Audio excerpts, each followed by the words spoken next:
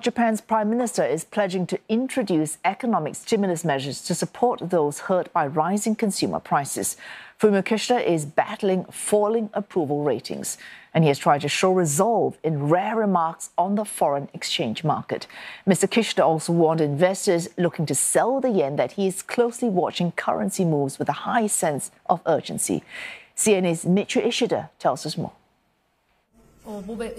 Speaking to reporters on Monday, Japanese Prime Minister Fumio Kishida promised to introduce measures to boost wage growth for young people. Among others, he said he wants to focus on small and medium sized companies by giving them tax reliefs in exchange for raising wages. He said measures to encourage individuals with assets to invest more will also be considered. Political watchers say it's unusual for the Prime Minister to overstep his cabinet ministers by speaking to reporters ahead of a former policy discussion. Mr. Kishida's pledges to prop up the economy came at a time when latest public opinion polls show his approval ratings continue to slide, even after a major cabinet reshuffle two weeks ago.